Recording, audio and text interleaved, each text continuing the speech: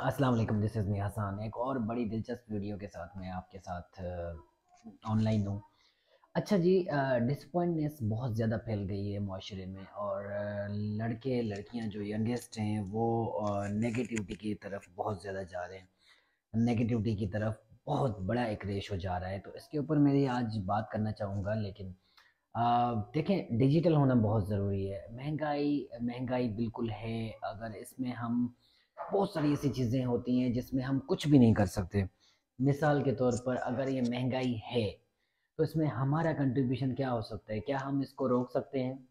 No क्या हम हुकूमत को डंडे बरसा सकते हैं कि ज़बरदस्ती उनको कम कराएँ चीज़ें? नो अच्छा ये जो चीज़ें हैं ना, ये वजूहत कोई भी हो, वजूहात बहुत सारी हैं। हमारे सियासतदानों की हैं इस्टेब्लिशमेंट की हैं रियासती और इदारों की भी हो सकती हैं, मे बी पॉसिबल लेकिन अगर ये, अगर पूरी मशीनरी वजह भी बनती है तो हम क्या कर सकते हैं? हम कुछ भी नहीं कर सकते। हम इतना कर लें, मैं ये कहता हूँ कि इतना कर लें डिसअपॉइंटेड नहीं होना। आपने बजाय महँगाई को फोकस करने के बजाय माशरती स्ट्रेसेस को फोकस करने के, अपने करियर पे फोकस करें, अपने इनकम को रिव्यू करें, अपने इनकम में जो बहुत सारी ऐसी फजूल चीज़ें हैं जो कि आपको नहीं करनी चाहिए, वो उसको माइनस करें। इनकम को प्लस करने के लिए कुछ चीज़ें करें। जो चीज़ें हम कर सकते हैं, वो ज़रूर करें। लेकिन आप ये सोचते रहे, महँगाई है महँगाई है महँगाई है महँगाई है तो हम घर से निकलना छोड़ दें तो ये नहीं है। महँगाई का मुतबादल ये है कि इनकम को डबल करें। इनकम को डबल करने का सिर्फ़ सिर्फ़ मेरे ख्याल में इस वक्त जो आपके हाथ में है और आप रोज़गार किसी भी फ़ील्ड से हैं या रोज़गार से हैं, नहीं है, किसी भी फ़ील्ड से रेलिवेंट हैं, कुछ भी काम कर रहे हैं, अपने आपने डिजिटल स्किल्स को अपडेट करें। अपने डिजिटल स्किल्स को जितना मैक्सिमम हो सके अपडेट करें।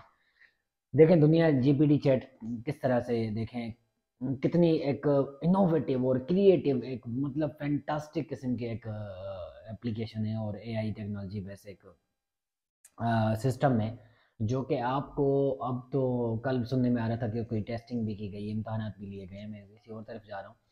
तो उसको देखें, दुनिया इस तरफ़ जा रही है। क्या हमारे पाकिस्तान में पिछले कई सालों से किसी ने इस तरह की इनोवेशन की है?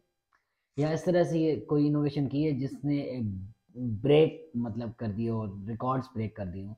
टेक्नोलॉजी फ़ील्ड में बात कर रहा हूँ, नहीं किए डिजिटल मार्केटिंग को भी अभी हर कोई digital marketing digital marketing digital marketing digital marketing कहना बहुत आसान है। डिजिटली बहुत सारी ऐसी चीज़ें हैं जिनको आप बहुत रॉन्ग वे के साथ समझते हैं। जिस तरह लोग कहते हैं कि डिजिटल जो है ना, वो सोशल मीडिया है मींस के फेसबुक इंस्टाग्राम और यूट्यूब सोशल मीडिया प्लेटफॉर्म्स ही डिजिटल मार्केटिंग है। हालाँकि ये तो एक पार्ट है उसका डिजिटल मार्केटिंग का या डिजिटल एक सेक्टर का छोटा सा पार्ट है। जिस पार्ट को हम कहें कि इतना सा पार्ट, फिफ्टी परसेंट अगर रेशो भी देते हैं तो फिफ्टी परसेंट और भी चीज़ें हैं, बहुत सारी जो करने वाली हैं। तो मेरा आज का आपको कंसर्न ये है कि बजाय हम महँगाई के, बजाय बेरोज़गारी के रोने के, बहुत सारी नेगेटिव चीज़ों के रोने के, हम अपने आप को अपडेट करें। हम अपने आप को डिजिटलाइज करें छोटी मोटी चीज़ें सीखना शुरू कर दें यूट्यूब चैनल बना के रख दें। यूट्यूब चैनल के हवाले से देखें, मेरा स्टेप अपना जो लिया हुआ है, वो आज मैंने लिया हुआ है। देखें आप आप फ्यूचर में देखिएगा, मैंने अपने दो साल इन्वेस्टमेंट कर देनी है दो तीन साल यूट्यूब चैनल पे। अब वो जो इन्वेस्टमेंट है, उसमें छोटी छोटी चीज़ें, समझ लें, ये प्रॉपर्टी है आपकी। एक प्रॉपर्टी आपकी डेवलप होती जा रही है डिग्री और प्रॉपर्टी आपको कुछ ना कुछ देती जा दे के जाती है।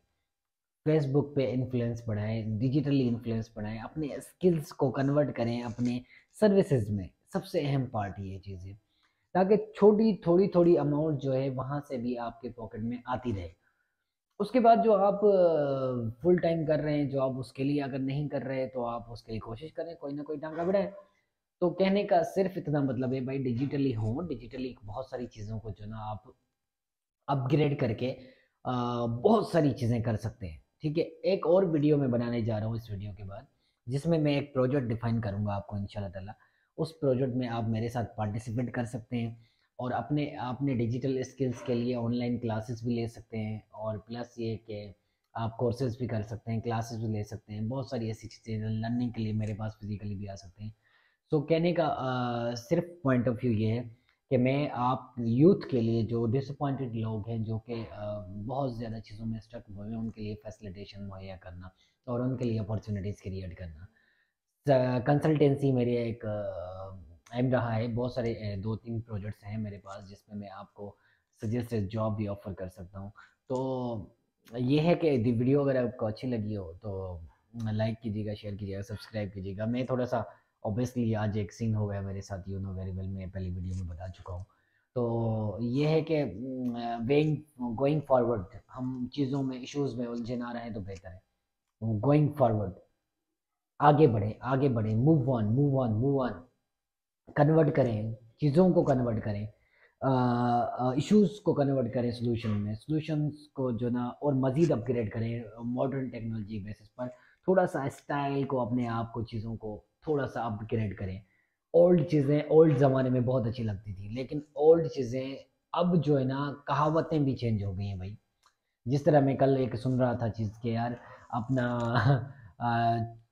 चादर देखकर पाँव फैलाने चाहिए। भाई, क्यों चादर देखकर पाँव फैलाने चाहिए? बड़ी चादर ले लो, सो जाओ उस पर एक बहुत अच्छी चीज़ मैं देख रहा था फेसबुक पे, उसको कोट करना चाहूँगा।